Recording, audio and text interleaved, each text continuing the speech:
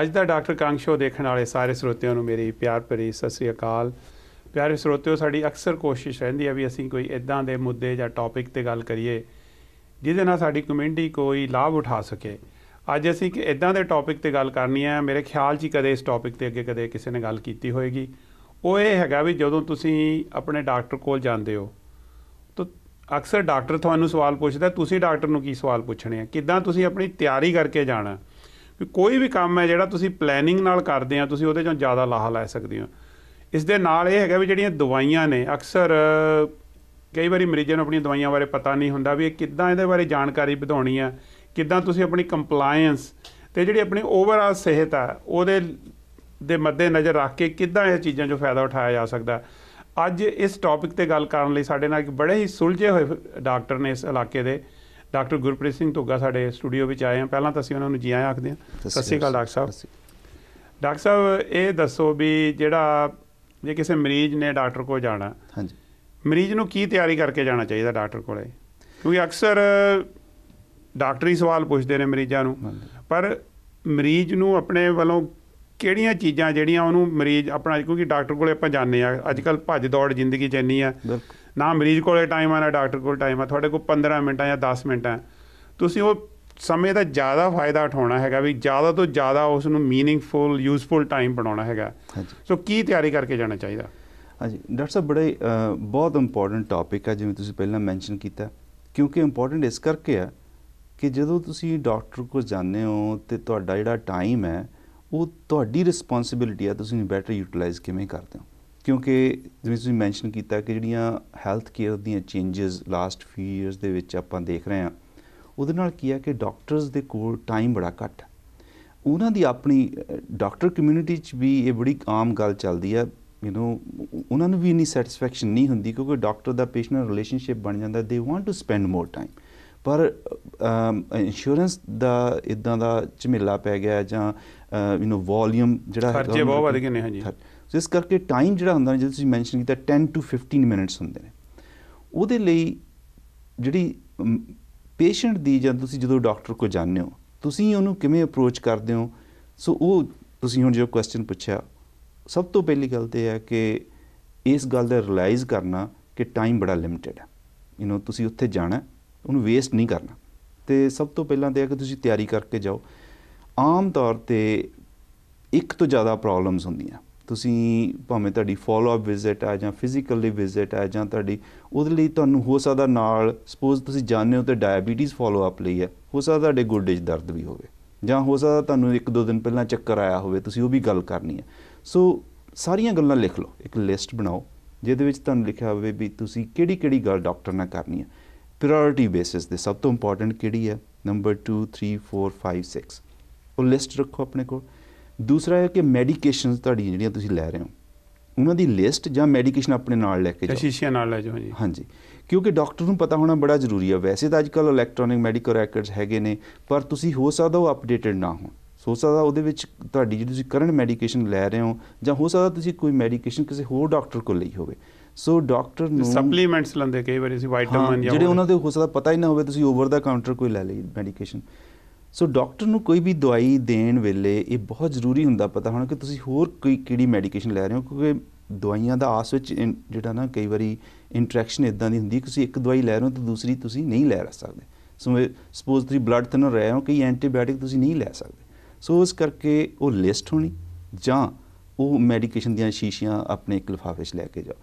ਤੀਸਰੀ ਗੱਲ, ਤੁਹਾਨੂੰ ਆਪਣੀ ਐਲਰਜੀਜ਼ ਦਾ ਪਤਾ ਹੋਣਾ ਚਾਹੀਦਾ, ਕਿ ਤੁਸੀਂ ਕਿਸੇ, ਤੁਹਾਨੂੰ ਕਿਸੇ ਮੈਡੀਕੇਸ਼ਨ ਤੋਂ ਐਲਰਜੀ ਹੈ, ਤੁਹਾਨੂੰ ਆਪ ਜਾਂ ਯਾਦ ਹੋਣਾ ਚਾਹੀਦਾ ਜਾਂ ਤੁਸੀਂ ਲਿਖ ਕੇ ਲੈ ਕੇ ਜਾਓ ਕਿਉਂਕਿ ਅ, ਕਈ ਵਾਰ ਡਾਕਟਰ ਬਿਜ਼ੀ ਹੈ ਇੱਕਦਮ ਤੁਹਾਨੂੰ ਕੋਈ ਮੈਡੀਕੇਸ਼ਨ ਦੇ ਦੇਣ ਤੇ ਉਹ ਤੁਹਾਡੀ ਆਪਣੀ ਜ਼ਿੰਮੇਵਾਰੀ ਹੈ ਵੀ ਤੁਹਾਨੂੰ ਪਤਾ ਹੋਵੇ ਤੁਸੀਂ ਮੈਡੀਕੇਸ਼ਨ ਲਈ ਲੈ ਸਕਦੇ ਵੈਸੇ ਤਾਂ ਫਾਰਮਾਸਿਸਟ ਵੀ ਹੁੰਦੇ ਨੇ ਹੋਰ ਵੀ ਕਈ ਇਦਾਂ ਦੇ ਯੂ نو ਸਟੈਪਸ ਨੇ ਜਿਹਦੇ ਕਰਕੇ ਉਹ ਬਚਾਅ ਹੋ ਜਾਂਦਾ ਤੁਹਾਨੂੰ ਪਤਾ ਸੋ ਪਹਿਲੀ ਗੱਲ ਆਪਣੀ ਪ੍ਰੋਬਲਮ ਦੀ ਲਿਸਟ ਫਿਰ ਮੈਡੀਕੇਸ਼ਨ ਦੀ ਲਿਸਟ ਫਿਰ ਆਪਣੀ ਐਲਰਜੀਜ਼ ਦੀ ਤੇ ਫਿਰ ਜਦੋਂ ਤੁਸੀਂ ਡਾਕਟਰ ਕੋਲ ਜਾਂਦੇ ਹੋ ਤੁਸੀਂ ਯੂ نو ਅਵੋਇਡ ਕਰੋ ਕੋਈ ਵੀ ਪਰਸਨਲ ਗੱਲ ਯੂ نو ਭਾਵੇਂ ਤੁਸੀਂ ਡਾਕਟਰ ਨਾਲ ਤੁਹਾਡਾ ਰਿਲੇਸ਼ਨਸ਼ਿਪ ਬਹੁਤ ਦੇਰ ਤੋਂ ਹੈ ਬਹੁਤ ਬਰੀਫਲੀ ਗੱਲ ਕਰਨ ਤੋਂ ਬਾਅਦ come to the point you know ਕਿਉਂਕਿ ਡਾਕਟਰ ਨੂੰ ਵੀ ਹੁੰਦਾ ਕਿ ਜਿਹੜੀ ਗੱਲ ਜ਼ਰੂਰੀ ਹੈ ਉਹੀ ਕੀਤੀ ਜਾਵੇ ਪੇਸ਼ੈਂਟ ਨੂੰ ਵੀ ਹੁੰਦਾ ਜੇ ਤੁਸੀਂ ਪਰਸਨਲ ਗੱਲਾਂ ਯੂ نو ਆਪਣੀ ਲੋਕਲ ਪੋਲਿਟਿਕਸ ਜਾਂ ਪੁਰਾਣੀ ਰਿਸ਼ਤੇਦਾਰੀ ਦੀਆਂ ਗੱਲ ਉਹਨੂੰ ਉਹਦੇ ਨਾਲ ਅ, ਚੰਗਾ ਲੱਗਦਾ ਪਰ ਟਾਈਮ ਬੜਾ ਘੱਟ ਹੁੰਦਾ ਤੇ ਉਹਨੂੰ ਅਸਲੀ ਗੱਲ ਫਿਰ ਰਹਿ ਜਾਂਦੀ ਹੈ ਸੋ ਉਹ ਜਦੋਂ ਤੁਸੀਂ ਆਪਣੇ ਜੇ ਤੁਸੀਂ ਕੰਫਰਟੇਬਲ ਫੀਲ ਕਰਦੇ ਹੋ, ਭਾਵੇਂ ਜਿਹੜੀ ਤੁਸੀਂ ਲਿਸਟ ਲਿਆਂਦੀ, ਜਿਹੜੀ ਤੁਸੀਂ ਗੱਲਾਂ ਕਰੋ ਉਸ ਡਾਕਟਰ ਨੂੰ ਦੇ ਦਿਓ। ਕਿਉਂਕਿ ਡਾਕਟਰ ਵੀ ਦੇਖ ਲੈਂਦੇ ਆ, ਫਿਰ ਕਿਹੜੀ ਕਿਹੜੀ ਗੱਲ ਹੈ ਹੋ ਸਕਦਾ ਉਹ ਇੰਟਰਲਿੰਕਡ ਹੋਣ। ਹੋ ਸਕਦਾ ਉਹ ਸਾਰੀਆਂ ਕਮ- ਇੱਕ ਟੌਪਿਕ ਨਾਲ ਰਿਲੇਟਡ ਹੋਣ, ਉਹ ਸੋ ਆਪਣੇ ਹਿਸਾਬ ਨਾਲ ਉਹਨੇ ਟਾਈਮ ਜਿਹੜਾ ਹੈਗਾ, ਉਹ, ਉਹਨੂੰ ਡਿਵੋਟ ਕੀਤਾ ਜਾ ਸਕਦਾ। ਸੋ ਇਹ ਬੜਾ ਜ਼ਰੂਰੀ ਹੈ ਕਿ ਤੁਹਾਨੂੰ ਟਾਈਮ ਦੀ ਡਾਕਟਰ ਦੇ ਘੱਟ ਟਾਈਮ ਦੀ ਕਦਰ ਹੋਵੇ ਤੇ ਆਪਣੀ ਜ਼ਿੰਮੇਵਾਰੀ ਹੋਵੇ ਕਿ ਮੈਂ ਉਸ ਟਾਈਮ ਨੂੰ ਕਿਵੇਂ ਬੈਟਰੀ ਯੂਟਿਲਾਈਜ਼ ਕਰਨਾ ਇਹ ਤੁਸੀਂ ਬੜਾ ਸੋਹਣਾ ਦੱਸਿਆ ਡਾਕਟਰ ਸਾਹਿਬ। ਕਈ ਵਾਰੀ ਇਹ ਵੀ ਦੇਖਿਆ ਵੀ ਕਿ ਬਜ਼ੁਰਗ ਨੇ ਹਾਂਜੀ। ਉਹ ਵਿਚਾਰਿਆਂ ਦੀ ਯਾਦਾਸ਼ਤ ਨਹੀਂ ਠੀਕ ਹੈਗੀ। ਜਾਂ ਬਹੁਤ ਕਮਜ਼ੋਰ ਨੇ। ਕਈ ਵਾਰੀ ਫੈਮਿਲੀ ਮੈਂਬਰ ਉਹਨਾਂ ਨੂੰ ਵੇਟਿੰਗ ਰੂਮ ਛੱਡ ਕੇ ਆਪ ਜਾ ਕੇ ਕਾਰ 'ਚ ਬੈਠ ਜਾਂਦੇ ਨੇ। ਸੋ ਤੁਸੀਂ ਉਹਨਾਂ ਨੂੰ ਜਦੋਂ ਇਨਸਟਰਕਸ਼ਨਸ ਦੇਣੀਆਂ ਹੈਗੀਆਂ ਹਾਂਜੀ। ਉਹਨਾਂ ਨੂੰ ਯਾਦ ਨਹੀਂ ਰਹਿਣੀਆਂ। ਹਾਂਜੀ। ਸੋ ਉਹਨਾਂ ਦੇ ਨਾਲ ਜਾਣਾ ਵੀ ਬੜਾ ਜ਼ਰੂਰੀ ਆ ਵੀ ਕੋਈ ਬੰਦਾ ਉਹਨਾਂ ਦੀ ਜਿਹੜੀ ਜਿਹੜੀ ਦਵਾਈਆਂ ਨੂੰ ਮੈਨੇਜ ਕਰ ਰਿਹਾ ਹੈਗਾ। ਹਾਂਜੀ। ਇਹ ਤਾਂ ਬਜ਼ੁਰਗਾਂ ਦੀ ਗੱਲ ਤਾਂ ਹੈ ਬਿਲਕੁਲ। ਇਹਦੀ ਵੀ ਆਪਾਂ ਗੱਲ ਕਰਦੇ ਪਰ ਇਨਸਟਰਕਸ਼ਨਸ ਜਿਹੜੀਆਂ ਨੇ ਡਾਕਟਰ ਦੀਆਂ ਨਾ ਉਹ ਤਾਂ ਕਿਸੇ ਵੀ ਬੰਦੇ ਲਈ ਬਹੁਤ ਜ਼ਰੂਰੀ ਨੇ। ਆਮ ਤੌਰ ਤੇ ਜਿਹੜੇ ਸਿਆਣੇ ਡਾਕਟਰ ਨੇ ਉਹ ਇਨਸਟਰਕਸ਼ਨ ਦੇਣ ਤੋਂ ਬਾਅਦ ਪੇਸ਼ੈਂਟ ਨੂੰ ਕਹਿੰਦੇ ਵੀ ਹੁਣ ਦੱਸੋ ਮੈਂ ਤੁਹਾਨੂੰ ਕੀ ਦੱਸਿਆ ਜਸਟ ਟੂ ਮੇਕ ਸ਼ੋਰ ਕਿ ਉਹ ਅੰਡਰਸਟੈਂਡ ਕੀਤਾ ਸੋ ਉਹ ਜਦੋਂ ਤੁਸੀਂ ਸਪੈਸ਼ਲੀ ਬਜ਼ੁਰਗਾਂ ਲਈ ਜਿਨ੍ਹਾਂ ਨੂੰ ਲੈਂਗੁਏਜ ਦੀ ਪ੍ਰੋਬਲਮ ਤਾਂ ਬਿਲਕੁਲ ਨਾਲ ਜ਼ਰੂਰ ਜਾਣਾ ਚਾਹੀਦਾ। ਹੈਜ਼ਿਟੇਟ ਨਾ ਕਰੋ ਦੁਬਾਰਾ ਵੀ ਪੁੱਛ ਲਓ ਹੋ ਸਕਦਾ ਤੁਸੀਂ ਉਹ ਇਨਸਟਰਕਸ਼ਨ ਨੋਟ ਵੀ ਕਰ ਲਓ। ਤੇ ਫਿਰ ਜੇ ਤੁਹਾਨੂੰ ਲੱਗਦਾ ਕਿ ਤੁਹਾਨੂੰ ਅਮ, ਤੁਹਾਡੇ ਕੋਲ ਫੋਨ ਨੰਬਰ ਹੋਣਾ ਚਾਹੀਦਾ ਤੁਸੀਂ ਦੁਬਾਰਾ ਵੀ ਪੁੱਛ ਸਕਦੇ ਨਹੀਂ ਵੈਸੇ ਤਾਂ ਤੁਸੀਂ ਗੱਲ ਡਾਕਟਰ ਸਾਹਿਬ ਬਹੁਤ ਸੋਹਣੀ ਦੱਸੀ ਵੀ ਅਕਸਰ ਗੱਲਾਂ ਬੰਦਾ ਭੁੱਲ ਜਾਂਦਾ। ਬਿਲਕੁਲ। ਕਿਉਂਕਿ ਜਦੋਂ ਡਾਕਟਰ ਨੇ ਕਈ ਗੱਲਾਂ ਦੱਸ ਦੇਣੀਆਂ ਹੈਗੀਆਂ ਕਈ ਵਾਰੀ ਤੁਹਾਨੂੰ ਇੱਕ ਦੋ ਗੱਲਾਂ ਯਾਦ ਰਹਿਣੀਆਂ ਬਾਕੀ ਭੁੱਲ ਜਾਂਦੀਆਂ। ਬੈਟਰ ਹੈਗਾ ਵੀ ਜੇ ਤੁਸੀਂ ਲਿਖਣ ਦੀ ਸਮਰੱਥਾ ਰੱਖਦੇ ਹੋ ਹਾਂਜੀ। ਤਾਂ ਉਹ ਚੀਜ਼ਾਂ ਨੂੰ ਤੁਸੀਂ ਲਿਖ ਲਓ। ਜੇ। ਤੁਸੀਂ ਨਹੀਂ ਲਿਖ ਸਕਦੇ ਡਾਕਟਰ ਨੂੰ ਕਹਾਂ ਵੀ ਮੈਨੂੰ ਲਿਖ ਕੇ ਦੇ ਦੇ। ਹਾਂਜੀ। ਉਹਦੇ ਨਾਲ ਫਿਰ। ਗਲਤੀ ਹੋਣ ਦੇ ਚਾਂਸ ਘਟ ਜਾਂਦੇ ਹਾਂਜੀ। ਫੋਰ ਐਗਜ਼ਾਮਪਲ ਕਿ ਤੁਹਾਨੂੰ ਕੋਈ ਡਾਕਟਰ ਨੇ ਕਿਹਾ ਤੁਸੀਂ ਬਲੱਡ ਟੈਸਟ ਨੈਕਸਟ ਵਿਜ਼ਿਟ ਤੋਂ ਪਹਿਲਾਂ ਆ ਕਰਵਾਉਣਾ ਹੈ। ਯੂ نو ਉਹਨਾਂ ਨੇ ਉਹ ਲੈਬ ਸਲਿੱਪ ਵੀ ਦੇ ਦੇਣੀ ਆ ਡੇਟ ਵੀ ਹੋਣੀ ਆ। ਤੁਸੀਂ ਉਹ ਉਸੇ ਵੇਲੇ ਤੁਸੀਂ ਆਪਣੇ ਨੋਟ ਕਰ ਲਓ ਜਿੱਥੇ ਵੀ ਤੁਸੀਂ ਕਰਨਾ ਕਿਉਂਕਿ ਉਹ ਤੁਹਾਡੀ ਜ਼ਿੰਮੇਵਾਰੀ ਹੈ ਕਿ ਤੁਸੀਂ ਉਹ ਟੈਸਟ ਨੈਕਸਟ ਵਿਜ਼ਿਟ ਤੋਂ ਪਹਿਲਾਂ ਪਹਿਲਾਂ। ਕਰਾ ਕੇ ਜਾਓ। ਨਹੀਂ ਕੀ ਹੁੰਦਾ ਕਈ ਵਾਰੀ ਮਰੀਜ਼ ਆ ਜਾਂਦੇ ਕਹਿੰਦੇ ਮੈਂ। ਟੈਸਟ ਕਰਾਉਣੇ ਭੁੱਲ ਗਏ। ਉਹ। ਵਿਜ਼ਿਟ ਰੱਖੀ ਹੁੰਦੀ ਆ ਟੈਸਟ ਦੇ ਰਿਜ਼ਲਟ ਲਈ। ਹਾਂਜੀ। ਸੋ ਤੁਹਾਡੇ ਵੀ 15-20 ਮਿੰਟ ਵੇਸਟ ਹੁੰਦੇ ਆ। ਹਾਂਜੀ। ਡਾਕਟਰ ਦਾ ਵੀ ਟਾਈਮ ਵੇਸਟ ਹੁੰਦਾ। ਟਾਈਮ ਵੇਸਟ ਹੁੰਦਾ। ਸੋ ਡਾਕਟਰ ਸਾਹਿਬ ਇੱਕ ਚੀਜ਼ ਮੈਂ ਹੋਰ ਦੇਖਿਆ ਵੀ ਅਸੀਂ ਕੋਈ ਨਵਾਂ ਪੇਸ਼ੈਂਟ ਪਹਿਲੀ ਵਾਰੀ ਆ ਰਿਹਾ। ਹਾਂਜੀ। ਜੇ ਤਾਂ ਐਮਰਜੈਂਸੀ ਆ ਉਹ ਤਾਂ ਆਪਾਂ ਅੰਡਰਸਟੈਂਡ ਕਰਦੇ ਆ ਪਰ ਜੇ ਤੁਸੀਂ ਪਲੈਨਿੰਗ ਨਾਲ ਵਿਜ਼ਿਟ ਬਣਾਈ ਆ ਹਾਂਜੀ। ਤਾਂ ਕੋਸ਼ਿਸ਼ ਕਰੋ ਵੀ ਇਹ ਰੈਕਡ ਅਵੇਲੇਬਲ ਹੋਣ। ਤਾਂ ਉਹ ਤੁਹਾਡਾ ਡਾਕਟਰ ਹੈ ਜਿਹੜਾ ਤੁਹਾਨੂੰ ਜ਼ਿਆਦਾ ਜਿਹੜਾ ਵਧੀਆ ਸਲਾਹ ਦੇ ਸਕਦਾ ਹੈਗਾ। ਡਾਕਟਰ ਸਾਹਿਬ ਤੋਂ ਬਹੁਤ ਤੁਸੀਂ ਇੰਪੋਰਟੈਂਟ ਗੱਲ ਕੀਤੀ ਹੈ ਜਿਹੜੀ ਨਾ ਮੈਡੀਕਲ ਰੈਕੋਰਡਸ ਹੈ। ਆਪਣੇ ਮੈਡੀਕਲ ਰੈਕੋਰਡਸ ਦੀ ਇੱਕ ਕਾਪੀ ਤੁਹਾਡੇ ਕੋਲ ਚਾਹੀਦੀ ਹੈ। ਵਰਗੀ ਕਦੇ ਤਾਂ ਰੀਸ ਨਹੀਂ ਹੈ ਜੀ। ਹਾਂਜੀ ਇਹ ਨਾ ਇਹ ਸਾਡਾ ਮੋਟੀ ਮੋਟੀ ਲਿਸਟ ਤਾਂ ਚਾਹੀਦੀ ਹੈ ਕੋਲ ਹਾਂਜੀ ਕਿਉਂਕਿ ਉਹਦਾ ਰੀਜ਼ਨ ਇਹ ਹੈ ਕਿ ਇੱਕ ਤਾਂ ਤੁਸੀਂ ਨਵੇਂ ਡਾਕਟਰ ਕੋ ਜਦੋਂ ਜਾਂਦੇ ਹੋ ਉਹਨਾਂ ਕੋ ਪੁਰਾਣਾ ਰੈਕੋਰਡ ਨਹੀਂ ਹੁੰਦਾ। ਸੈਕੰਡਲੀ ਤੁਹਾਨੂੰ ਹੋ ਸਕਦਾ ਐਮਰਜੈਂਸੀ ਕਿਤੇ ਥਾਂ ਜਾਣਾ ਪੈ ਜਾਏ। ਜਿੱਥੇ ਉਹ ਤੁਹਾਡੇ ਰੈਕੋਰਡਸ ਉਸ ਟਾਈਮ ਤੇ ਨਹੀਂ ਹੋ ਸਕਦੇ ਫਿਰ ਹੋ ਸਕਦਾ ਤੁਸੀਂ ਕਿਤੇ ਟਰੈਵਲ ਕਰਦੇ ਹੋ ਕਿਤੇ ਵਕੇਸ਼ਨ ਲਈ ਜਾਂਦੇ ਹੋ ਇੰਡੀਆ ਜਾਂਦੇ ਹੋ ਤੇ ਉਹ ਤੁਸੀਂ ਆਪਣੀ ਫਾਈਲ ਜਿਹੜੀ ਆ ਉਹ ਆਪਣੇ ਨਾਲ ਲਿਜਾ ਸਕਦੇ ਹੋ ਉੱਥੇ ਵੀ ਕੰਮ ਮੇਰਾ ਕਹਿਣ। ਮਤਲਬ ਵੀ ਸਾਰੀ ਫਾਈਲ ਬੇਸ਼ੱਕ ਨਾ ਹੋਵੇ ਮੋਟੀਆਂ-ਮੋਟੀਆਂ ਗੱਲਾਂ ਬਿਮਾਰੀਆਂ ਦੇ ਨਾਂ ਦਵਾਈਆਂ ਦੇ। ਨਾਂ ਤੁਹਾਡੇ ਰੀਸੈਂਟ ਟੈਸਟ ਵੀ ਚਾਰ ਪੰਜ ਚੀਜ਼ਾਂ ਜਿਹੜੀਆਂ ਨਾਲ ਵੀ ਸਾਰੀ ਵੱਡੀ ਸਾਰੀ ਫਾਈਲ ਨਾਲ ਰੱਖਣ ਦੀ ਲੋੜ ਨਹੀਂ ਹੈਗੀ ਹਾਂਜੀ ਮੋਟੀਆਂ-ਮੋਟੀਆਂ ਚੀਜ਼ਾਂ ਨਾਲ ਚਾਹੀਦੀਆਂ ਹਾਂਜੀ ਸਪੈਸ਼ਲੀ ਜੇ ਤੁਸੀਂ ਡਾਕਟਰ ਚੇਂਜ ਕਰ ਰਹੇ ਹੋ ਨਾ ਫਿਰ ਤਾਂ ਸਾਰੀ ਫਾਈਲ। ਆਪਣੇ ਪੁਰਾਣੇ ਡਾਕਟਰ ਕੋਲੋਂ ਰਿਕੁਐਸਟ ਕਰ ਸਕਦੇ ਹੋ। ਤੁਸੀਂ ਮੂਵ ਹੋਏ ਹੋ ਸਪੋਜ਼ ਤੁਸੀਂ ਇੱਕ ਜਗ੍ਹਾ ਤੋਂ ਦੂਸਰੀ ਜਗ੍ਹਾ ਜਾਂਦੇ ਹੋ ਉਹ ਡਾਕਟਰ ਤੁਹਾਨੂੰ ਪੂਰੀ ਲਿਸਟ ਕਾਪੀ ਆਪਣੀ ਰੈਕੋਰਡਸ ਕਾਪੀ ਕਰਕੇ ਦੇ ਦਿੰਦੇ ਨੇ। ਤੇ ਇਹ ਗੱਲ ਵੀ ਦੱਸਣੀ ਜ਼ਰੂਰੀ ਹੈ ਵੀ ਜਿਹੜੇ ਰੈਕੋਰਡ ਨੇ। ਉਹ ਕਈ ਪੇਸ਼ੈਂਟ ਸੰਗ ਜਾਂਦੇ ਵੀ ਮੈਂ ਡਾਕਟਰ ਤੋਂ ਕਿਵੇਂ ਲਾਉਂਗਾ। ਜਿਹੜੇ ਰੈਕੋਰਡ ਆ ਉਹ ਪੇਸ਼ੈਂਟ ਦੀ ਪ੍ਰਾਪਰਟੀ ਆ। ਹਾਂਜੀ। ਤੁਹਾਡਾ ਰਾਈਟ ਹੈ। ਤੇ ਤੁਹਾਡਾ ਉਸ ਦੇ ਹੱਕ ਹੈ। ਹੋ ਸਕਦਾ ਵੀ ਜੇ ਤੁਸੀਂ ਮੰਗਦੇ ਹੋ ਤੁਹਾਨੂੰ ਕਈ ਵਾਰੀ ਕਾਪੀ ਕਰਨ ਦੀ ਕਾਸਟ ਵੀ ਦੇਣੀ ਪਵੇ 10-15 ਸੈਂਟ ਇੱਕ ਪੇਜ ਦੇ। ਪਰ ਬਾਏ ਲਾ ਜਿਹੜੇ ਰੈਕੋਰਡ ਨੇ ਉਹ ਪੇਸ਼ੈਂਟ ਦੀ ਪ੍ਰਾਪਰਟੀ ਆ। ਪਰ ਡਾਕਟਰ ਚਾਰਜ ਕਰ ਸਕਦਾ ਪਰ ਕਈ ਵਾਰੀ ਡਾਕਟਰ ਨਹੀਂ ਚਾਰਜ ਕਰਦੇ। ਤੇ ਜੇ ਤੁਸੀਂ ਮਰਜ਼ੀ ਨਾਲ ਟਰਾਂਸਫਰ ਕਰ ਰਹੇ ਹੋ ਮੂਵ ਹੋ ਰਹੇ ਹੋ ਤਾਂ ਡਾਕਟਰ ਦੇਗਾ ਜੇ ਤੁਸੀਂ ਆਪਣੇ ਲਈ ਰੱਖਣੀ ਹੋ ਸਕਦਾ ਡਾਕਟਰ ਕਾਪਿੰਗ ਕਾਸਟ ਜਿਹੜੀ ਹੈਗੀ ਆ ਉਹ ਮੰਗਣ। ਬਿਲਕੁਲ। ਜਿਹੜੇ ਰੈਕੋਰਡਸ ਨੇ ਉਹ ਤੁਹਾਡਾ ਆਪਣਾ ਆਪਣੇ ਰਾਈਟ ਨੇ ਉਹ ਤੁਹਾਡੇ ਰੈਕੋਰਡ ਨੇ। ਬਿਲਕੁਲ ਸੋ ਉਹਦੇ 'ਚ। ਹੈਜ਼ਿਟੇਸ਼ਨ ਨਹੀਂ ਕਰਨਾ ਚਾਹੀਦਾ ਤੁਹਾਨੂੰ ਕੋਈ ਨਾਂ ਵੀ ਨਹੀਂ ਕਰੇਗਾ। ਬਿਲਕੁਲ ਜੀ ਬਿਲਕੁਲ। ਸੋ ਡਾਕਟਰ ਸਾਹਿਬ ਆਪਾਂ ਜਿਹੜਾ ਇਹ ਟੌਪਿਕ ਹੈਗਾ ਹੈ ਬੜਾ ਇੰਪੋਰਟੈਂਟ ਟੌਪਿਕ ਹੈਗਾ। ਆਪਾਂ ਦਾ ਜੇ ਦਵਾਈਆਂ ਬਾਰੇ ਜਾਂ ਹੋਰ ਕਈ ਮੁੱਦਿਆਂ ਬਾਰੇ ਗੱਲ ਕਰਨੀ ਹੈਗੀ ਆ ਸੋ ਪਿਆਰੇ ਸਰੋਤਿਓ, ਤੁਸੀਂ ਸਾਡੇ ਨਾਲ ਇਸੇ ਤਰ੍ਹਾਂ ਜੁੜੇ ਰਹੋ। ਛੋਟੀ ਜੀ ਬ੍ਰੇਕ ਦਾ ਟਾਈਮ ਹੋ ਗਿਆ ਤੇ ਆਪਾਂ ਡਾਕਟਰ ਸਾਹਿਬ ਨਾਲ ਹੋਰ ਗੱਲਾਂ ਇਸ ਟੌਪਿਕ ਬਾਰੇ ਕਰਾਂਗੇ।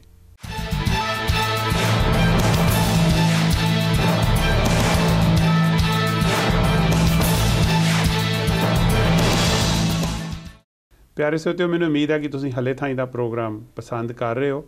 ਅਸੀਂ ਅੱਜ ਗੱਲ ਕਰ ਰਹੇ ਹਾਂ ਡਾਕਟਰ ਗੁਰਪ੍ਰੀਤ ਸਿੰਘ ਧੁੱਗਾ, ਜੋ ਕਿ ਇੰਟਰਨਲ ਮੈਡੀਸਨ ਦੇ ਸਪੈਸ਼ਲਿਸਟ ਨੇ, ਬੜੇ ਤਜਰਬੇ ਵਾਲੇ ਡਾਕਟਰ ਨੇ ਕਈ ਸਾਲਾਂ ਤੋਂ ਇਸ ਇਲਾਕੇ ਵਿੱਚ ਉਹ ਡਾਕਟਰੀ ਦਾ ਕੰਮ ਕਰ ਰਹੇ ਨੇ। ਸੋ ਗੱਲ ਅਸੀਂ ਅੱਜ ਕਰ ਰਹੇ ਹਾਂ ਵੀ ਆਪਾਂ ਜਿਹੜਾ ਕੰਪਲਾਈਂਸ ਕਿੱਦਾਂ ਇੰਪਰੂਵ ਕਰਨੀ ਹੈ, ਜਿਹੜਾ ਡਾਕਟਰ ਦੇ ਆਫਿਸ 'ਚ ਅਸੀਂ ਜਾਂਦੇ ਆ ਆਪਣੀ ਵਿਜ਼ਿਟ ਨੂੰ ਅਸੀਂ ਮੀਨਿੰਗਫੁਲ ਉਹਦੇ ਜੋ ਲਾਹਾ ਕਿਵੇਂ ਲੈਣਾ, ਉਹ ਸਾਡੀ ਪੇਸ਼ੈਂਟ ਦੀ ਵੀ ਉਨੀ ਜ਼ਿੰਮੇਵਾਰੀ ਜਿੰਨੀ ਡਾਕਟਰ ਦੀ ਜ਼ਿੰਮੇਵਾਰੀ ਹੈਗੀ ਆ। ਸੋ ਡਾਕਟਰ ਸਾਹਿਬ ਆਪਾਂ ਗੱਲ ਕਰ ਰਹੇ ਸੀ ਦਵਾਈਆਂ ਦੀ। ਹਾਂਜੀ। ਤੁਸੀਂ ਥੋੜਾ ਜਿਹਾ ਦੱਸ ਰਹੇ ਸੀਗੇ ਵੀ ਕਈ ਵਾਰੀ ਮਰੀਜ਼ਾਂ ਨੂੰ ਆਪਣੀਆਂ ਦਵਾਈਆਂ ਬਾਰੇ ਵੀ ਨਹੀਂ ਪਤਾ ਹੁੰਦਾ ਵੀ ਉਹ ਕਿਉਂ ਲੈ ਰਹੇ ਨੇ ਕਾਹਦੀ ਇਹ ਦਵਾਈ ਹੈ। ਹਾਂਜੀ। ਉਹਦੇ ਬਾਰੇ ਤੁਸੀਂ ਕੀ ਕਹਿਣਾ ਚਾਹੁੰਦੇ ਹੋ? ਜਿਵੇਂ ਉੱਥੇ ਗੱਲ ਆਉਂਦੀ ਕਿ ਤੁਹਾਡੀ ਜਿਹੜੀ ਹੈਲਥ ਹੈ ਤੁਹਾਡੀ ਆਪਣੀ ਰਿਸਪੌਂਸਿਬਿਲਿਟੀ ਹੈ ਡਾਕਟਰ ਵੀ ਤੁਹਾਡੀ ਉਹ ਹੈਲਥ ਨੂੰ ਮੇਨਟੇਨ ਕਰਨ ਲਈ ਹੈਲਪ ਕਰ ਰਿਹਾ ਬੇਸਿਕਲੀ ਸੋ ਜਿੰਨਾ ਤੁਹਾਨੂੰ ਆਪਣੀ ਮੈਡੀਕੇਸ਼ਨਸ ਬਾਰੇ ਆਪਣੀ ਬਿਮਾਰੀਆਂ ਬਾਰੇ ਪਤਾ ਹੋਏਗਾ ਉਨਾ ਹੀ ਤੁਸੀਂ ਆਪਣੀ ਬੈਟਰ ਕੇਅਰ ਕਰੋਗੇ। ਸੋ ਇਸ ਕਰਕੇ ਮੈਡੀਕੇਸ਼ਨ ਜਿਹੜੀ ਤੁਸੀਂ ਕਿਹੜੀ ਲੈ ਰਹੇ ਹੋ ਤੇ ਕਿਉਂ ਲੈ ਰਹੇ ਹੋ ਤੁਹਾਨੂੰ ਬਿਲਕੁਲ ਪਤਾ ਹੋਣਾ ਚਾਹੀਦਾ। ਪਲੱਸ ਉਹਦਾ ਇਹ ਵੀ ਪਤਾ ਹੋਣਾ ਚਾਹੀਦਾ ਕਿ ਉਹ ਕਿੰਨੀ ਕੁ ਦੇਰ ਲਈ ਆ। ਕਈ ਮੈਡੀਕੇਸ਼ਨਸ ਹੈਗੀਆਂ ਉਹ ਤੁਹਾਨੂੰ ਥਰੂ ਆਊਟ ਲਾਈਫ ਲੈਣੀਆਂ ਹੀ ਪੈਣੀਆਂ। ਕਈ ਮੈਡੀਕੇਸ਼ਨਸ ਹੈ ਹੋ ਸਕਦਾ ਤੁਹਾਨੂੰ 5 ਜਾਂ 7 ਦਿਨ ਲਈ ਦਿੱਤੀਆਂ ਹੋਣ। ਕਈ ਹੋ ਸਕਦਾ ਤੁਹਾਨੂੰ ਯੂ نو ਉਹਦਾ ਟਾਈਮ ਪੀਰੀਅਡ ਹੁੰਦਾ। ਹੋ ਸਕਦਾ ਉਹ ਬਲੱਡ ਟੈਸਟ ਦੇ ਨਾਲ ਚੇਂਜ ਹੋਣ ਵਾਲੀਆਂ ਹੁੰਦੀਆਂ। ਕਈਆਂ ਦੀ ਡੋਜ਼ ਜਿਹੜੀ ਆ ਉਹ depending on the blood test ਉਹ ਚੇਂਜ ਹੁੰਦੀ ਰਹਿੰਦੀ ਹੈ ਉਹ ਇਸ ਕਰਕੇ ਇਨਸਟਰਕਸ਼ਨ ਜੋ ਤੁਸੀਂ ਲੈਂਦੇ ਹੋ ਤੁਹਾਨੂੰ ਉਹਦੇ ਬਾਰੇ ਡਾਕਟਰ ਨੂੰ ਪੁੱਛਣਾ ਚਾਹੀਦਾ। ਕਿ ਇਹ ਕਦੋਂ ਤੱਕ ਮੈਂ ਲੈਣੀ ਹੈ ਮੈਨੂੰ ਬੰਦ ਕਰ ਸਕਦਾ ਕਿ ਨਹੀਂ? ਇਹਦੇ ਕੀ ਸਾਈਡ ਇਫੈਕਟ ਹੋ ਸਕਦੇ ਕਿਉਂਕਿ ਕੋਈ ਵੀ ਨਵੀਂ ਮੈਡੀਕੇਸ਼ਨ ਜਿਹੜੀ ਹੈ ਨਾ, ਉਹ ਹਰ ਇੱਕ ਤੇ ਡਿਫਰੈਂਟਲੀ ਇਫੈਕਟ ਕਰਦੀ ਹੈ ਜਦੋਂ ਡਾਕਟਰ ਤੁਹਾਨੂੰ ਦਵਾਈ ਦਿੰਦਾ, ਉਹਨਾਂ ਨੂੰ ਹੋ ਸਕਦਾ ਉਹ ਉਹ- ਉਹਦੀ ਕੋਈ ਵੀ ਸਾਈਡ ਇਫੈਕਟ ਨਾ ਹੋਵੇ, ਹੋ ਸਕਦਾ ਤੁਹਾਨੂੰ ਬਿਲਕੁਲ ਸੂਟ ਨਾ ਕਰੇ। ਸੋ ਪ- ਉਹ ਬਿਲਕੁਲ ਪੁੱਛਣਾ ਚਾਹੀਦਾ ਡਾਕਟਰ ਨੂੰ ਜਦੋਂ ਨਵੀਂ ਦਵਾਈ ਲੈਂਦੇ ਹੋ ਕਿ ਮੈਂ ਕਿਹੋ ਜੀ ਕੋ ਮੈਨੂੰ ਸਿੰਪਟਮ ਦੱਸੇ ਜਦੋਂ ਮੈਂ ਤੁਹਾਨੂੰ ਕਾਲ ਬੈਕ ਕਰਾਂ? ਜਾਂ ਮੈਨੂੰ ਕੀ ਐਕਸਪੈਕਟ ਕਰਨਾ ਚਾਹੀਦਾ? ਸਪੋਜ਼ ਤੁਹਾਨੂੰ ਬਲੱਡ ਪ੍ਰੈਸ਼ਰ ਹੈ ਤੁਹਾਨੂੰ ਡਾਕਟਰ ਨੇ ਬਲੱਡ ਪ੍ਰੈਸ਼ਰ ਦੀ ਮੈਡੀਕੇਸ਼ਨ ਲਿਖਤੀ ਹੈ। ਪਹਿਲੀ ਗੱਲ ਤੇ ਇਹ ਹੈ ਕਿ ਹੋ ਸਕਦਾ ਉਹਦੀ ਡੋਜ਼ ਜਿਹੜੀ ਉਹ ਜ਼ਿਆਦਾ ਹੋਵੇ ਤੁਹਾਡਾ ਬਲੱਡ ਪ੍ਰੈਸ਼ਰ ਬਹੁਤ ਘਟ ਘਟ ਜਾਏ ਗਿਆ ਹਾਂਜੀ ਚੱਕਰ ਆਉਣ ਲੱਗ ਗਿਆ ਜੀ। ਚੱਕਰ ਆਉਣ ਲੱਗ ਤੂੰ ਡਾਕਟਰ ਨੇ ਤੁਹਾਨੂੰ ਦੱਸਣਾ ਜਦੋਂ ਤੁਸੀਂ ਪੁੱਛਣਾ ਕਿ ਸਾਈਡ ਇਫੈਕਟ ਕੀ ਹੋ ਸਕਦਾ ਉਹਨੇ ਤੁਹਾਨੂੰ ਦੱਸਣਾ ਵੀ ਜੇ ਤੁਸੀਂ ਬਹੁਤ ਕਮਜ਼ੋਰ ਫੀਲ ਕਰੋ ਕੋਈ ਚੱਕਰ ਆਉਣ ਲੱਗ ਜਾਣ ਤੇ ਫਿਰ ਤੁਸੀਂ ਬਲੱਡ ਪ੍ਰੈਸ਼ਰ ਚੈੱਕ ਕਰੋ। ਤੁਸੀਂ ਜੇ ਜ਼ਿਆਦਾ ਹੈ ਜਾਂ ਘੱਟ ਹੈ ਤੇ ਤੁਸੀਂ ਕਾਲ ਬੈਕ ਕਰੋ। ਜੇ ਤੁਹਾਡਾ ਬਲੱਡ ਪ੍ਰੈਸ਼ਰ ਹੋ ਸਕਦਾ ਡੋਜ਼ ਇੰਨੀ ਘੱਟ ਹੋਵੇ ਬਲੱਡ ਪ੍ਰੈਸ਼ਰ ਬਹੁਤ ਜ਼ਿਆਦਾ ਹੀ ਰਹਿੰਦਾ। ਤੁਸੀਂ ਇਸ ਕਰਕੇ ਚੈੱਕ ਕਰਦੇ ਹੋ ਤੁਸੀਂ ਸਿੰਪਟਮ ਨੇ।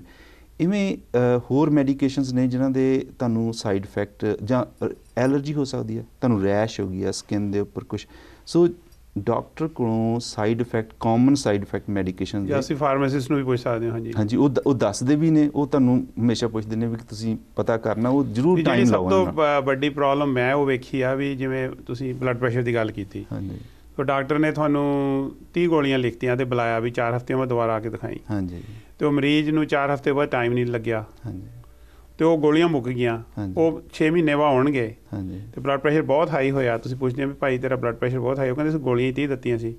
ਸੋ ਸਾਨੂੰ ਡਾਕਟਰ ਨੇ ਬੁਲਾਇਆ ਦਾ ਮਤਲਬ ਉਹ ਦੇਖਣਾ ਸੀ ਦਵਾਈ ਐਡਜਸਟ ਕਰਕੇ ਫਿਰ ਹੋਰ ਲਿਖਣੀ ਸੀ। ਵੀ ਤੁਸੀਂ ਰੀਫਿਲ ਕਰਾਉਣਾ ਜੇ ਤੁਸੀਂ ਨਹੀਂ ਜਾ ਸਕਦੇ ਤੁਸੀਂ ਡਾਕਟਰ ਦੇ ਆਫਿਸ ਕੋ ਵੀ ਮੈਂ ਭਾਈ ਨਹੀਂ ਆ ਸਕਦਾ। ਮੈਨੂੰ ਰੀਫਿਲ ਚਾਹੀਦੀ ਹੈ ਜਾਂ ਮੈਂ 2 ਹਫ਼ਤੇ ਬਾਅਦ ਆਉਂਗਾ। ਸੋ ਇਹ ਮੈਂ ਬੜੀ ਵਾਰੀ ਅਕਸਰ ਦੇਖਿਆ ਹੈਗਾ। ਫਿਰ ਉਹ ਕਈ ਵਾਰੀ ਉਹਦੇ ਨਾਲ ਸੀਰੀਅਸ ਪ੍ਰੋਬਲਮਸ ਹੋ ਜਾਂਦੀਆਂ। ਹੁੰਦੀਆਂ ਬਿਲਕੁਲ ਹੁੰਦੀਆਂ।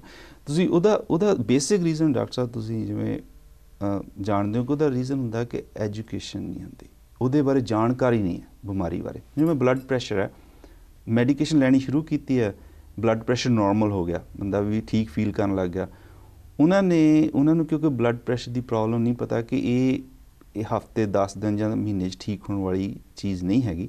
ਸੋ ਉਹਨਾਂ ਨੇ ਕਹਿਣਾ ਕਿ ਮੈਂ ਹੁਣ ਠੀਕ ਹਾਂ, ਮੈਨੂੰ ਹੁਣ ਲੋੜ ਨਹੀਂ ਮੈਡੀਕੇਸ਼ਨ ਤੇ। ਮੈਂ ਬਿਲਕੁਲ ਠੀਕ ਫੀਲ ਕਰ ਰਿਹਾ। ਜਿਵੇਂ ਯੂ نو ਬਲੱਡ ਸ਼ੂਗਰ ਦੀ ਵੀ ਆਪਾਂ ਡਾਇਬੀਟੀਜ਼ ਵਾਲਿਆਂ ਨੂੰ ਵੀ ਦੇਖਦੇ ਹਾਂ ਕਿ ਜਦੋਂ ਤੱਕ ਉਹਨਾਂ ਕੋਲ ਜਿਹਨਾਂ ਦਾ ਸ਼ੂਗਰ ਜ਼ਿਆਦਾ ਵੀ ਹੋਵੇ, ਕਿਉਂਕਿ ਉਹ ਆਪ ਠੀਕ ਫੀਲ ਕਰਦੇ ਆ ਕਿਉਂਕਿ ਉਹਨਾਂ ਦੀ ਬਾਡੀ ਯੂਜ਼ਡ ਹੋ ਗਈ ਆ। ਜ਼ਿਆਦਾ ਗਲੂਕੋਜ਼ ਲਈ ਜਾਂ ਸ਼ੂਗਰ ਲਈ ਜਾਂ ਜ਼ਿਆਦਾ ਬਲੱਡ ਪ੍ਰੈਸ਼ਰ ਲਈ। ਆਪਾਂ ਦੇਖਦੇ ਹਾਂ ਜੇ ਬਲੱਡ ਪ੍ਰੈਸ਼ਰ ਤੁਸੀਂ ਟ੍ਰੀਟ ਨਾ ਕਰੋ ਕਈ ਵਾਰ ਬਹੁਤ ਜ਼ਿਆਦਾ ਬਲੱਡ ਪ੍ਰੈਸ਼ਰ ਵਾਲੇ ਵੀ ਲੋਕ ਆਮ ਤੁਰੇ ਫਿਰਦੇ ਆ ਐਂਡ ਉਹਨੂੰ ਸਿਰ ਦਰਦ ਵੀ ਨਹੀਂ ਹੁੰਦਾ। ਉਹਦਾ ਰੀਜ਼ਨ ਹੈ ਕਿ ਬਾਡੀ ਯੂਜ਼ਡ ਟੂ ਹੋ ਗਈ ਹੈ। ਇਹਦਾ ਮਤਲਬ ਇਹ ਨਹੀਂ ਕਿ ਉਹਨਾਂ ਨੂੰ ਲੋੜ ਨਹੀਂ ਹੈ। ਉਹ ਇਸ ਕਰਕੇ ਸਭ ਤੋਂ ਤਾਂ ਇੰਪੋਰਟੈਂਟ ਗੱਲ ਇਹ ਹੈ ਕਿ ਉਸ ਬਿਮਾਰੀ ਬਾਰੇ ਜਾਣਕਾਰੀ ਹੋਵੇ। ਫਿਰ ਜਿਵੇਂ ਤੁਸੀਂ ਕਹਿਤਾ ਕਿ ਡਾਕਟਰ ਨੇ ਤੁਹਾਨੂੰ 30 ਦਿਨ ਦੀ ਦਵਾਈ ਦਿੱਤੀ ਆ ਇਨਸਟਰਕਸ਼ਨਸ ਵੇਲੇ ਉਹਨਾਂ ਨੇ ਇਹੀ ਕਿਹਾ ਹੋਣਾ ਕਿ ਤੁਸੀਂ ਜਦੋਂ 4 ਹਫ਼ਤੇ ਬਾਅਦ ਮੇਰੇ ਕੋਲ ਆਓਗੇ ਆਪਾਂ ਦੇਖਾਂਗੇ ਤੁਹਾਨੂੰ ਇਹਦੀ ਐਡਜਸਟਮੈਂਟ ਡੋਜ਼। ਘਟਾਉਣੀ ਹੈ ਜਾਂ ਵਧਾਉਣੀ ਹੈ। ਸੋ ਉਹ ਫਾਲੋ ਅਪ ਬੜਾ ਜ਼ਰੂਰੀ ਹੈ ਭਾਵੇਂ ਤੁਸੀਂ ਠੀਕ ਫੀਲ ਕਰਦੇ ਹੋ ਜੇ ਡਾਕਟਰ ਨੇ ਤੁਹਾਨੂੰ ਕਿਹਾ ਤਿੰਨ ਜਾਂ ਚਾਰ ਹਫ਼ਤੇ ਬਾਅਦ ਆਉਣ ਲਈ ਤੇ ਜ਼ਰੂਰ ਜਾਣਾ ਚਾਹੀਦਾ। ਨਹੀਂ ਇੱਕ ਹੋਰ ਇਹਦੇ ਨਾਲ ਮੈਂ ਇੱਕ ਚੀਜ਼ ਦੇਖੀ ਜਿਵੇਂ ਤੁਸੀਂ ਕੋਈ ਦਵਾਈ ਦਿੱਤੀ ਡਾਕਟਰ ਨੇ। ਹਾਂਜੀ। ਫੋਰ ਐਗਜ਼ਾਮਪਲ ਤੁਹਾਨੂੰ ਇਨਫੈਕਸ਼ਨ ਹੋਈ ਹੈ ਡਾਕਟਰ ਨੇ ਐਂਟੀਬਾਇਓਟਿਕ ਦਿੱਤੀ ਤੇ ਤੁਹਾਨੂੰ ਦਵਾਈ ਮਾਫ ਨਹੀਂ ਆਈ ਇੱਕ ਦਿਨ ਬਾਅਦ। ਹਾਂਜੀ। ਤਾਂ ਕਈ ਮਰੀਜ਼ ਕਰਨਗੇ ਦਵਾਈ ਉਹ ਬੰਦ ਕਰ ਦੇਣਗੇ ਤੇ ਤੁਹਾਨੂੰ ਦੱਸਦੇ ਵੀ ਨਹੀਂ। ਤੇ ਫਿਰ ਬਾਅਦ ਚ ਆਉਣਗੇ ਕਹਿਣਗੇ ਮੈਂ ਉਹ ਮੈਨੂੰ ਦਵਾਈ ਮਾਫ ਨਹੀਂ ਆਈ ਉਹ ਫਿਰ ਜ਼ਿਆਦਾ ਕੰਪਲਿਕੇਸ਼ਨ ਹੋ ਜਾਂਦੀ ਹੈ ਵੀ ਜੇ ਕਿਸੇ ਸਾਨੂੰ ਡਾਕਟਰ ਨੇ ਦਵਾਈ ਦਿੱਤੀ ਹੈ ਹੋ ਸਕਦਾ ਉਹ ਤੁਹਾਨੂੰ ਅਲਟਰਨੇਟ ਦਵਾਈ ਦੇ ਦੇ। ਸੋ ਕਮਿਊਨੀਕੇਟ ਕਰਨਾ ਜਿਹੜਾ ਬੜਾ ਜ਼ਰੂਰੀ ਆ। ਕੋਈ ਵੀ ਤੁਸੀਂ ਇਹ ਨਾ ਕਹੋ ਵੀ ਇਹ ਕਈ ਆ ਕੇ ਵੀ ਕਹਿਣਗੇ ਉਹ ਪੁਰਾਣੇ ਡਾਕਟਰ ਕੋਲ ਗਿਆ ਸੀ ਉਹਨੇ ਬਹੁਤ ਮਾੜੀ ਦਵਾਈ ਦੇਤੀ। ਸੋ। ਦਵਾਈ ਜਿਹੜੀ ਚੰਗੀ ਮਾੜੀ ਆ ਉਹ ਉਹ ਉਹ ਇੱਕ ਦਵਾਈ ਕਿਸੇ ਲਈ ਚੰਗੀ ਹੈ ਕਿਸੇ ਲਈ ਮਾੜੀ ਵੀ ਹੋ ਸਕਦੀ ਹੈ ਕਿਉਂਕਿ ਹਰ ਇਨਸਾਨ ਡਿਫਰੈਂਟ ਆ। ਉਹ ਇਹ ਨਹੀਂ ਉਹ ਉਹ ਡਾਕਟਰ ਬੜਾ ਮਾੜਾ ਉਹਨੇ ਮਾੜੀ ਦਵਾਈ ਦੇਤੀ। ਹਾਂਜੀ। ਡਾਕਟਰ ਸਾਹਿਬ ਤੁਸੀਂ ਨਾ ਇਹ ਬੜੀ ਕਾਮਨ ਗੱਲ ਤੇ ਤੁਸੀਂ ਟੱਚ ਕੀਤਾ। ਐਕਚੁਅਲੀ ਇੱਕ 골ਡਨ ਰੂਲ ਹੈ। ਕਿ ਜੇ ਮੈਡੀਕੇਸ਼ਨ ਤੁਸੀਂ ਬੰਦ ਕਰਨੀ ਹੈ ਜਾਂ ਤੁਸੀਂ ਉਹਨੂੰ ਘਟਾਉਣਾ ਹੈ ਜਾਂ ਵਧਾਉਣਾ ਹੈ ਕੋਈ ਵੀ ਕੰਮ ਤੁਸੀਂ ਡਾਕਟਰ ਦੀ ਸਲਾਹ ਤੋਂ ਬਿਨਾਂ ਨਾ ਕਰੋ। ਮਤਲਬ ਇਹ ਇੰਨਾ ਜ਼ਰੂਰੀ ਹੈ ਕਿਉਂਕਿ ਤੁਸੀਂ ਇੱਕ ਰੱਖ ਲਓ ਵੀ ਤੁਹਾਡੀ ਹੈਲਥ ਲਈ ਤੁਹਾਡਾ ਬੈਸਟ ਫਰੈਂਡ ਤੁਹਾਡਾ ਡਾਕਟਰ ਹੈ। ਹਾਂ ਜੇ ਤੁਹਾਨੂੰ ਉਹ ਡਾਕਟਰ ਤੇ ਭਰੋਸਾ ਨਹੀਂ ਫਿਰ ਕਿਸੇ ਉਹ ਹੋਰ ਡਾਕਟਰ ਕੋਲ ਚਲੇ ਜਾਓ ਜਿੱਤੇ ਭਰੋਸਾ ਹੈਗਾ। ਪਰ ਇਨ ਜਨਰਲ ਵੀ ਤੁਹਾਨੂੰ ਗੱਲ ਮੰਨਣੀ ਪੈਣੀ ਡਾਕਟਰ ਦੀ। ਇੱਕ ਨਾ ਡਾਕਟਰ ਸਾਹਿਬ ਸਾਡਾ ਕਲਚਰ ਹੈ ਸਾਡਾ ਪੰਜਾਬੀ ਕਲਚਰ ਅਸੀਂ ਨਾ ਦਵਾਈਆਂ 'ਚ ਘੱਟ ਵਿਸ਼ਵਾਸ ਰੱਖਦੇ ਹਾਂ। ਅਸੀਂ ਕਹਿੰਦੇ ਆ ਵੀ ਦਵਾਈਆਂ ਦੀ ਲੋੜ ਨਹੀਂ ਜਾਂ ਘੱਟ ਲਓ। ਬਿਲਕੁਲ ਠੀਕ ਹੈ ਦਵਾਈਆਂ ਨਹੀਂ ਲੈਣੀਆਂ ਚਾਹੀਦੀਆਂ ਪਰ ਜੇ ਤੁਹਾਨੂੰ ਲੋੜ ਹੈ ਤੇ ਫਿਰ ਤੁਹਾਨੂੰ ਦਵਾਈ ਲੈਣੀ ਪੈਣੀ। ਸਹੀ ਤਰੀਕੇ ਨਾਲ ਲੈਣੀ ਚਾਹੀਦੀ ਹੈ। ਹਾਂਜੀ। ਸੋ ਡਾਕਟਰ ਸਾਹਿਬ ਇੱਕ ਹੋਰ ਹੈਗਾ ਜਿਹੜਾ ਟੌਪਿਕ ਉਹ ਹੈਗਾ ਵੀ ਕਈ ਵਾਰੀ ਤੁਸੀਂ ਡਾਕਟਰ ਕੋਲ ਗਏ। ਹਾਂਜੀ।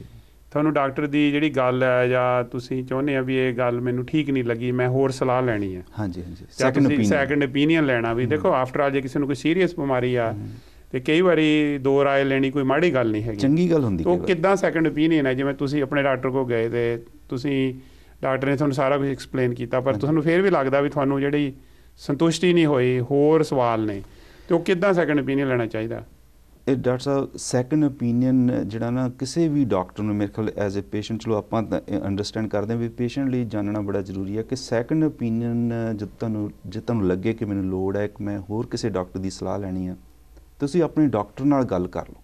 ਕਿਉਂਕਿ ਡਾਕਟਰ ਹਮੇਸ਼ਾ ਇਨਕਰੇਜ ਕਰਦੇ ਆ ਕਿ ਤੁਸੀਂ ਕਿਸੇ ਹੋਰ ਨਾਲ ਵੀ ਗੱਲ ਕਰਕੇ ਆਪਣਾ ਤੁਸੀਂ ਸਲਾਹ ਲੈਣ 'ਚ ਕੋਈ ਹਰਜ ਨਹੀਂ। ਹਰਜ ਨਹੀਂ ਕਿਉਂਕਿ ਡਿਸੀਜਨ ਜਿਹੜਾ ਹੈਗਾ ਨਾ ਜੇ ਤੁਸੀਂ ਇਨਫੋਰਮੇਸ਼ਨ ਜਿੰਨੀ ਜ਼ਿਆਦਾ ਲੈਣ ਤੋਂ ਬਾਅਦ ਡਿਸੀਜਨ ਜਿਹੜਾ ਬਣਦਾ ਉਹ ਉਹ ਉਹਦੇ ਚ ਕੰਪਲਾਈਂਸ ਵੀ ਹੁੰਦੀ ਹੈ ਉਹ ਜ਼ਿਆਦਾ ਦੇਰ ਤੁਸੀਂ ਉਹਨੂੰ ਫੋਲੋ ਵੀ ਕਰਦੇ ਹੋ। ਨਹੀਂ ਮੈਂ ਇੱਕ ਪੁਆਇੰਟ ਹੋਰ ਦੇਖਿਆ ਜੇ ਤੁਸੀਂ ਆਪਣੇ ਡਾਕਟਰ ਨੂੰ ਕਹੋਗੇ ਵੀ ਮੈਨੂੰ ਸੈਕੰਡ ਓਪੀਨੀਅਨ ਚਾਹੀਦਾ। ਉਹ ਤੁਹਾਨੂੰ ਆਪ ਦੂਜੇ ਡਾਕਟਰ ਕੋਲ ਭੇਜੂਗਾ ਤੁਹਾਡੇ। ਰੈਕਡ ਵੀ ਭੇਜ ਦੂਗਾ। ਹਾਂਜੀ। ਤੁਹਾਡੇ ਰਿਜ਼ਲਟ ਵੀ ਭੇਜ ਦੂਗਾ। ਪਰ ਆਪਣੇ ਡਾਕਟਰ ਕੀ ਕਰਦੇ ਨੇ ਚੋਰੀ ਛਿਪ ਕੇ ਕਿਸੇ ਹੋਰ ਡਾਕਟਰ ਨੂੰ ਜਾ ਕੇ ਦਿਖਾ ਦਿੰਦੇ ਆ। ਉਹਦੇ ਨਾਲ ਕੀ ਹੁੰਦਾ ਵੀ ਜਿਹੜਾ ਤੁਹਾਡਾ ਡਾਕਟਰ ਦੇ ਨਾਲ ਕਿਹੜਾ ਡਾਕਟਰ ਪੇਸ਼ੈਂਟ ਦਾ ਰਿਸ਼ਤਾ ਹੈ ਕਿ ਬੜਾ ਪਾਕ ਬਿਲਕੁਲ, ਸੰਬੰਧ ਆ ਇੱਕ। ਇੱਕ ਭਰੋਸੇ ਵਾਲਾ ਰਿਸ਼ਤਾ। ਬਹੁਤ ਟਰਸਟ ਜਦੋਂ ਭਰੋਸੇ ਵਿੱਚ ਤਰੇੜ ਪੈ ਜਾਂਦੀ ਆ। ਉਹ ਫਿਰ ਦੋ ਨਾ ਤਾਂ ਮਰੀਜ਼ ਨੂੰ ਮਜ਼ਾ ਆਉਂਦਾ ਡਾਕਟਰ ਦੇਖਣ ਦਾ ਨਾ ਡਾਕਟਰ ਨੂੰ ਮਰੀਜ਼ ਦੇਖਣ ਦਾ। ਸੋ ਮੈਂ ਤਾਂ ਇਹੀ ਆਪਣੇ ਪੰਜਾਬੀ ਜਿਹੜੇ ਸਰੋਤੇ ਪ੍ਰੋਗਰਾਮ ਦੇਖਦੇ ਆ ਮੈਂ ਉਹਨਾਂ ਨੂੰ ਇਹੀ ਬੇਨਤੀ ਕਰਾਂਗਾ ਜਾਂ ਸਲਾਹ ਦਵਾਂਗਾ ਵੀ ਸੈਕੰਡ ਓਪੀਨੀਅਨ ਲੈਣਾ ਬੜੀ ਅੱਛੀ ਗੱਲ ਆ। ਖਾਸ ਕਰਕੇ ਜੋ ਕਿਸੇ ਨੂੰ ਕੋਈ ਇਦਾਂ ਦੀ ਬਿਮਾਰੀ ਸੀਰੀਅਸ ਬਿਮਾਰੀ ਹੋਈ ਆ ਜਾਂ ਕੋਈ ਜਿਵੇਂ ਕੈਂਸਰ ਆ ਜਾਂ ਕੋਈ ਹਾਰਟ ਦੀ ਪ੍ਰੋਬਲਮ ਹੈ ਜਾਂ ਕੋਈ ਤੁਸੀਂ ਡਾਇਬਟੀਜ਼ ਤੁਹਾਡੀ ਕੰਟਰੋਲ ਨਹੀਂ ਹੋ ਰਹੀ। ਸੋ ਉਹਦੇ ਦੋ ਤਰੀਕੇ ਨੇ। ਇੱਕ ਤਾਂ ਤੁਹਾਡਾ ਡਾਕਟਰ ਤੁਹਾਨੂੰ ਕਿਸੇ ਸਪੈਸ਼ਲਿਸਟ ਕੋ ਭੇਜ ਸਕਦਾ ਹੈ। ਇਹ ਸਪੈਸ਼ਲਿਸਟ ਨਹੀਂ ਜੇ ਤੁਸੀਂ ਸਿਰਫ ਸੇਮ ਸਪੈਸ਼ਲਿਟੀ ਦੇ ਡਾਕਟਰ ਹੋ। ਤੁਸੀਂ ਬਾਈ ਦੇ ਵੇ ਹਾਰਟ ਡਾਕਟਰ ਹੋ ਤੁਸੀਂ ਕਿਸੇ ਹੋਰ ਡਾਕਟਰ ਦੀ ਸਲਾਹ ਲੈਣੀ ਹਾਰਟ ਡਾਕਟਰ ਦੀ। ਮੇਰੇ ਖਿਆਲ 'ਚ ਅਮਰੀਕਾ 'ਚ ਕੋਈ ਇਦਾਂ ਦਾ ਡਾਕਟਰ ਨਹੀਂ ਹੋਊਗਾ ਜਿਹੜਾ ਤੁਹਾਨੂੰ ਨਾ ਕਰੇਗਾ ਸੈਕੰਡ ਓਪੀਨੀਅਨ ਲੈਣ ਇੱਕ ਤੋਂ। ਡਾਕਟਰ ਸਾਹਿਬ ਇਹਨਾਂ ਹੋਰ ਇੰਪੋਰਟੈਂਟ ਬੜੀ ਗੱਲ ਹੈ ਕਿ ਜੇ ਤੁਸੀਂ ਓਨੈਸਟਲੀ ਸੈਕੰਡ ਓਪੀਨੀਅਨ ਦਾ ਆਪਣੇ ਡਾਕਟਰ ਨਾਲ ਸਲਾਹ ਕਰਦੇ ਹੋ ਨਾ ਇੱਕ ਤਾਂ ਤੁਹਾਡਾ ਆਪਣੇ ਡਾਕਟਰ ਨਾਲ ਰਿਲੇਸ਼ਨਸ਼ਿਪ ਵਧੀਆ ਰਹਿੰਦਾ। ਇੱਕ ਹੋਰ ਬੜੀ ਜੇ ਤੁਸੀਂ ਜੇ ਤੁਸੀਂ ਕਿ ਚੋਰੀ ਛਿਪੇ ਜਿਸ ਦੂਸਰੇ ਡਾਕਟਰ ਕੋ ਜਾਣਾ ਨਾ, ਉਹ ਦੂਸਰਾ ਡਾਕਟਰ ਵੀ ਤੁਹਾਡੇ ਨਾਲ ਟਰਸਟ ਨਹੀਂ ਫਿਰ ਤੁਹਾਨੂੰ ਕਰਦਾ। ਉਹ ਕਹਿੰਦੇ ਵੀ ਜੇ ਆਪਣੇ ਡਾਕਟਰ ਨੂੰ ਬਿਨਾਂ ਦੱਸਣ ਤੋਂ ਉਹਦੀ ਹੁਣ ਮੇਰੇ ਨਾਲ ਗੱਲ ਕਰ ਰਿਹਾ ਤੇ ਕੱਲ ਮੇਰੀ ਵੀ ਕਿਸੇ ਹੋਰ ਡਾਕਟਰ ਕੋ ਜਾ ਕੇ ਕਰੇਗਾ। ਸੋ ਤੁਸੀਂ ਐਕਚੁਅਲੀ ਹੁੰਦਾ ਨਾ, ਉਹਨਾਂ ਨਾਲ ਘਰ ਦਾ ਨਾ ਘਾਟ ਦਾ। ਉਹ ਨਾ ਆਪਣੇ ਡਾਕਟਰ ਨਾਲ ਤੁਹਾਡਾ ਰਿਲੇਸ਼ਨਸ਼ਿਪ ਠੀਕ ਰਹਿੰਦਾ, ਨਾ ਨਵੇਂ ਡਾਕਟਰ ਨਾਲ ਬਣਦਾ। ਸੋ ਇਹਦੇ ਚ ਨਾ ਅੰਡਰਸਟੈਂਡ ਕਰਨ ਵਾਲੀ ਗੱਲ ਹੈ ਮੇਰੇ ਕੋਲ ਬਹੁਤੀ ਲੋਕ ਇਸ ਕਰਕੇ ਕਰਦੇ ਨੇ ਵੀ ਉਹਨਾਂ ਦਾ ਡਾਕਟਰ ਸ਼ਾਇਦ ਨਾ ਮਾਈਂਡ ਕਰੇਗਾ ਵੀ ਤੁਸੀਂ ਕਿਸੇ ਹੋਰ ਡਾਕਟਰ ਕੋਲ ਚੱਲੇ ਹੋ। ਐਕਚੁਅਲੀ ਇਹਦੇ ਆਪੋਜ਼ਿਟ ਹੈ ਤੁਸੀਂ ਡਾਕਟਰ ਨਾਲ ਓਨੈਸਟੀ ਕਰੋ ਵੀ ਮੈਂ ਇਹਨਾਂ ਇੱਕ ਕਿਸੇ ਹੋਰ ਡਾਕਟਰ ਤੋਂ ਵੀ ਸਲਾਹ ਲੈਣਾ। ਵੀ ਮੇਜਰ ਡਿਸੀਜਨ ਹੈ ਵੀ I need more information basically ਜਿਹੜਾ ਤੁਸੀਂ ਟੌਪਿਕ ਦਾ ਮੇਨ ਮੁੱਦਾ, ਜਿਹੜਾ ਥੀਮ ਹੈ ਨਾ, ਉਹ ਇਹੀ ਹੈ ਕਿ ਡਾਕਟਰ ਕੋ ਜਦੋਂ ਤੁਸੀਂ ਵਿਜ਼ਿਟ ਲਈ ਜਾਂਦੇ ਹੋ ਪ੍ਰਪੇਅਰ ਹੋ ਕੇ ਜਾਓ ਟਾਈਮ ਨੂੰ ਪ੍ਰੋਪਰ ਯੂਟਿਲਾਈਜ਼ ਕਰੋ, ਆਪਣੀਆਂ ਡਿਜ਼ੀਜ਼ਸ ਮੈਡੀਕੇਸ਼ਨਸ ਐਲਰਜੀਜ਼ ਜਿਹੜੀਆਂ ਤੁਹਾਡੀਆਂ ਪ੍ਰੋਬਲਮ ਨੇ ਉਹ ਲਿਸਟ ਉਹ ਲੈ ਕੇ ਜਾਓ ਡਾਕਟਰ ਨੂੰ ਵੀ ਫਾਇਦਾ ਹੁੰਦਾ, ਤੁਹਾਨੂੰ ਵੀ ਫਾਇਦਾ ਹੁੰਦਾ, ਉਸ ਤੋਂ ਬਾਅਦ ਇਨਸਟਰਕਸ਼ਨ ਜਿਹੜੀਆਂ ਪ੍ਰੋਪਰਲੀ ਸੁਣੋ ਦੁਆਰਾ ਵੀ ਪੁੱਛੋ ਸਾਈਡ ਇਫੈਕਟ ਬਾਰੇ ਵੀ ਪੁੱਛੋ, ਘਰ ਆ ਕੇ ਜਿਹੜੀਆਂ ਮੈਡੀਕੇਸ਼ਨ ਦਿੱਤੀਆਂ, ਉਹਨੂੰ ਪ੍ਰੋਪਰਲੀ ਉਹਦਾ ਪੂਰਾ ਕੋਰਸ ਕਰੋ, ਤੇ ਤੁਹਾਨੂੰ ਕੋਈ ਕੁਐਸਚਨ ਹੈ ਜਾਂ ਤੁਹਾਨੂੰ ਕੋਈ ਸਾਈਡ ਇਫੈਕਟ ਹੈ, ਤੇ ਬੰਦ ਕਰਨ ਤੋਂ ਪਹਿਲਾਂ ਡਾਕਟਰ ਨੂੰ ਕਾਲ ਕਰੋ। ਸੋ ਡਾਕਟਰ ਸਾਹਿਬ, ਇੱਕ ਚੀਜ਼ ਮੈਂ ਐਡ ਕਰਾਂਗਾ ਵੀ ਜੇ ਤੁਹਾਨੂੰ ਕੋਈ ਕ੍ਰੋਨਿਕ ਬਿਮਾਰੀ ਹੈ ਤਾਂ ਫਾਲੋ ਅਪ ਅਪਾਇੰਟਮੈਂਟ ਜਿਹੜੀ ਹੈਗੀ ਆ ਉਹ. ਜਾਣ ਤੋਂ ਪਹਿਲਾਂ ਜ਼ਰੂਰ ਬਣਾਓ। ਮੈਂ ਤਾਂ ਇਹੀ ਕਹਾਂਗਾ ਵੀ ਜਿਹੜਾ ਤੁਹਾਡਾ ਡਾਕਟਰ ਆ ਤੁਹਾਡਾ ਬੈਸਟ ਫਰੈਂਡ ਆ ਡਾਕਟਰ ਤੁਹਾਡਾ ਚੰਗਾ ਮੰਗਦਾ ਜਿਹੜਾ ਕੋਈ ਵੀ ਸਿਆਣਾ ਡਾਕਟਰ ਆ ਉਹ ਪੇਸ਼ੈਂਟ ਦਾ ਸਦਾ ਚੰਗਾ ਮੰਗਦਾ। ਤੇ ਤੁਹਾਨੂੰ ਉਹਦੇ ਨਾਲ ਇਦਾਂ ਦੇ ਸੰਬੰਧ ਹੋਣੇ ਚਾਹੀਦੇ ਆ ਕਿ ਬਿਲਕੁਲ ਇੱਕ ਟਰਸਟ ਵਰਦੀ ਤੇ ਇੱਕ ਕੌਨਫੀਡੈਂਸ ਵਾਲਾ ਰਿਲੇਸ਼ਨਸ਼ਿਪ ਹੋਊਗਾ ਉਹਦੇ ਵਿੱਚ ਤੁਹਾਨੂੰ ਜਿਹੜਾ ਹੈਗਾ ਜ਼ਿਆਦਾ ਫਾਇਦਾ ਹੋਏਗਾ। ਸੋ ਡਾਕਟਰ ਸਾਹਿਬ ਤੁਸੀਂ ਬਹੁਤ ਸੋਹਣੀਆਂ ਗੱਲਾਂ ਦੱਸੀਆਂ ਸਾਨੂੰ ਪੂਰੀ ਉਮੀਦ ਆ ਕਿ ਜਿਹੜੇ ਸਾਡੇ ਸਰੋਤੇ ਪ੍ਰੋਗਰਾਮ ਦੇਖ ਰਹੇ ਨੇ ਅਗਲੀ ਵਾਰੀ ਉਹ ਪੂਰੀ ਤਿਆਰੀ ਕਰਕੇ ਜਾਣਗੇ ਆਪਣੇ ਡਾਕਟਰ ਕੋਲੇ। ਸੋ ਤੁਹਾਡਾ ਇਸ ਪ੍ਰੋਗਰਾਮ 'ਚ ਆਉਣ ਲਈ ਬਹੁਤ ਬਹੁਤ ਧੰਨਵਾਦ. ਤੇ ਸਾਰੇ ਸਰੋਤਿਆਂ ਦਾ ਇਸ ਪ੍ਰੋਗਰਾਮ ਨੂੰ ਦੇਖਣ ਲਈ ਧੰਨਵਾਦ। ਸਤਿ ਸ੍ਰੀ ਅਕਾਲ ਸਤਿ ਸ਼੍ਰੀ ਅਕਾਲ